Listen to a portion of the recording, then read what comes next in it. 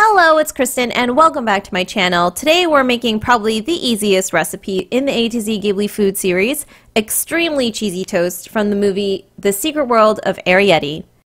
To be honest, it looks a lot like a glob of honey on toast, but we're going to use cheese because that seems like a tastier, easier to identify option.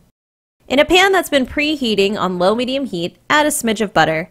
If your pan is completely nonstick, this part is actually optional because you'll see later that the cheese will create its own grease. And then you're just going to add as much or as little cheese as you want. The types of cheeses I used were sliced Gouda, a block of Gruyere that I grated into the pan, and in a bit you'll see a slice of provolone.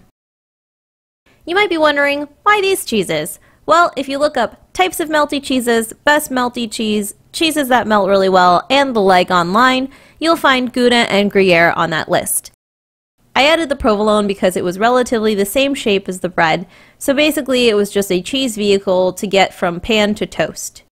Raclette has become the most popular melty cheese these days, but it was kind of expensive and I'm not really into that level of investment for something I'm going to devour in two seconds. During the process, you want to make sure the heat is on low or low medium so you don't burn anything. After a lot of cheese adding and pan swirling, all the cheeses you added should mix together. When it looks like they're combined, add the slice of provolone, and as I mentioned before, the cheeses will get a little bit greasy, so you can blot off the pan if you want. Be careful when you're flipping and mixing because that grease is hot. Then just stick it on your toast and it's done.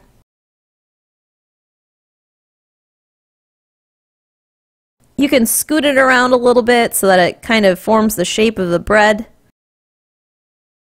And that's it.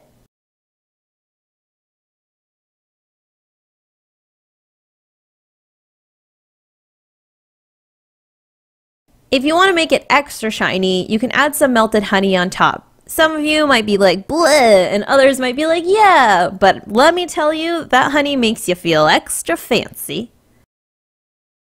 I hope that you enjoyed this video. If you haven't already, please watch the other videos in my A to Z Ghibli food series. I can't believe we are almost at the end. Don't forget to give this video a thumbs up and subscribe to my channel. Thank you so much for watching, and I'll see you in my next one.